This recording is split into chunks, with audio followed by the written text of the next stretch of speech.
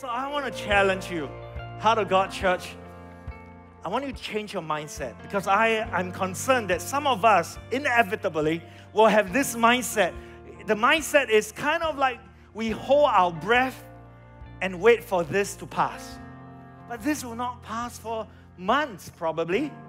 I pray it does pass quickly, but it may not.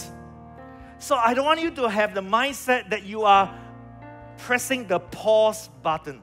Listen, we are not on pause we are not pressing the pause button. This is this is not kind of like a, a winter season where you are like a bear, you hibernate. No, no, no. This is a summer season for the harvest. So we are not hitting the pause button. In fact, we are hitting the fast forward button.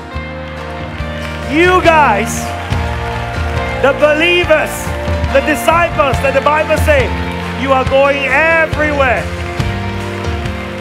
So, Heart of God Church, you will be a church scattered.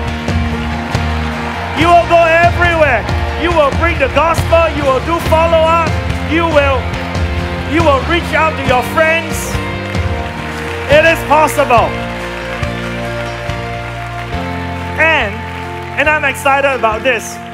The last thing I want to tell you is, you know what? Heart of God Church, we are built for this all our efforts, all our focus on building strong young people, strong church, strong structure is for a time like this.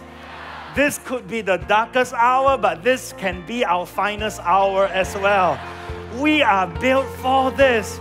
While everybody starts to string back, we can go forward. When it's dark, we can shine like a brightest.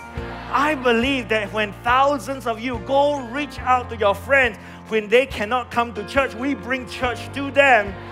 We are built for this.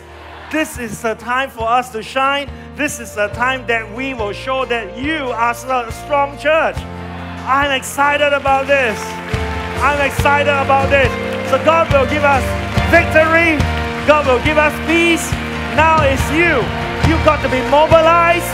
You are young people, you are mobile, you are full of technology. You can do the impossible in this season.